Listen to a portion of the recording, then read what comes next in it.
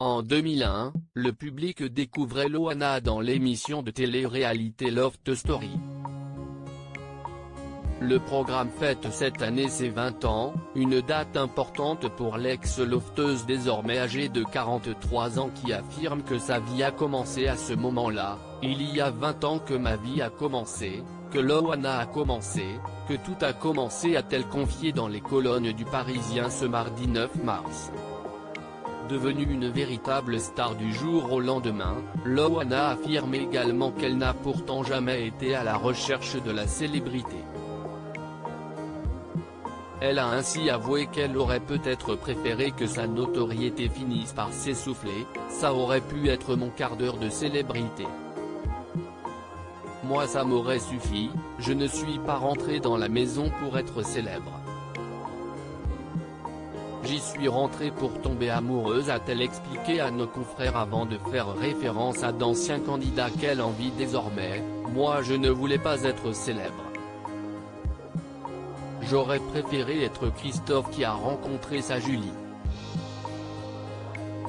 Lui il a gagné avec moi mais il a rencontré le grand amour de sa vie. Ils sont encore ensemble, ils ont deux garçons. Confidences pleines de regrets pour celle qui aurait finalement préféré, avec le recul, vivre une vie tranquille, j'aurais voulu être à l'écart comme eux et faire des bébés ça aurait été la plus belle des vies. Christophe et Julie lui tendent la main si Loana a connu des moments de gloire, elle est aussi passée par des phases très sombres dont elle peine encore à se relever.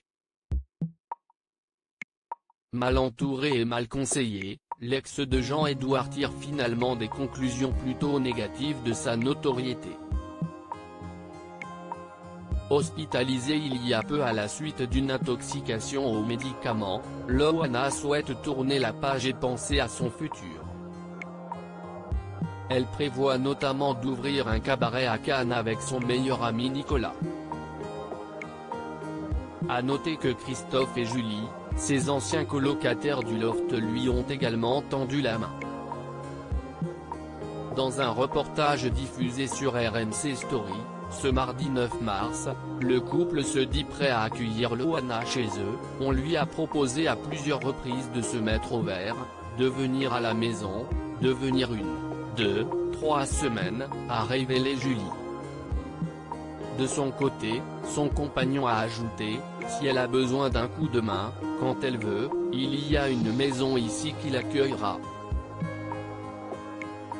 Voilà qui devrait donner du baume au cœur à Loana.